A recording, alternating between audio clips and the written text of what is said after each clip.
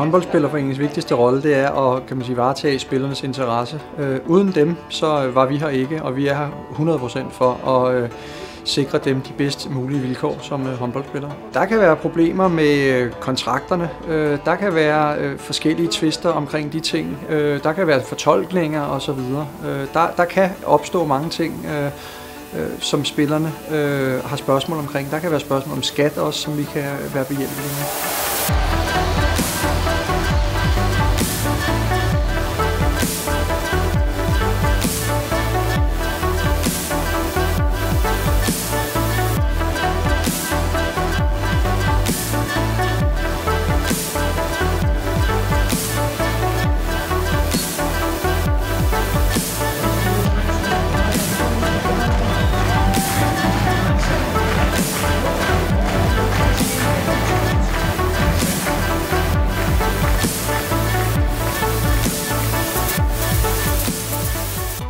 For Player det er en rådgivningsvirksomhed, som hjælper elitesportsfolk, øh, herunder håndboldspillerne, med at kombinere øh, sporten og uddannelse, sporten og, og civil job, øh, så man kan præstere optimalt i, i begge domæner.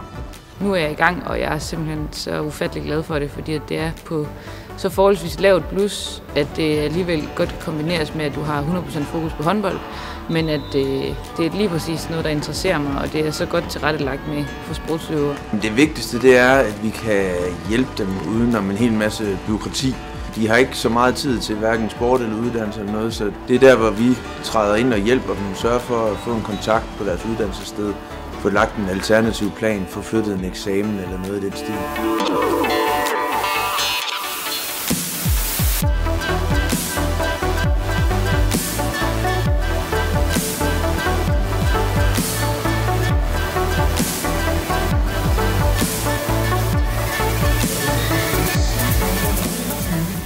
Her i foråret blev jeg færdig med min kandidatuddannelse i medievidenskab og skulle ligesom til at tage springet fra studielivet til erhvervslivet.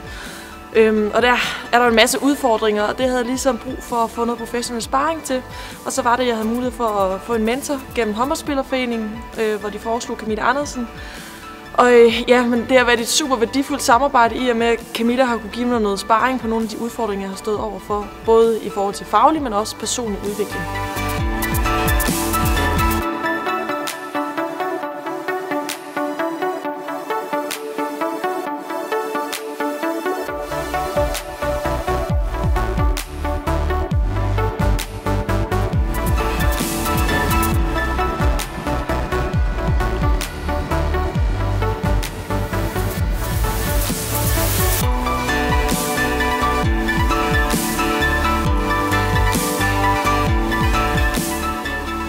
Og jeg har fått hjälp med att eh, melde en skade som jag har lite problem med. Eh, som utlänning så är det meget svært med skatt og selvangivelse og feriepengar. Og, så det, det er mange muligheder. Det er essentielt, at vi har spillernes opbakning, øh, solidariteten og det at stå sammen, det er på den måde, vi skaber resultater. Så det er øh, det allervigtigste.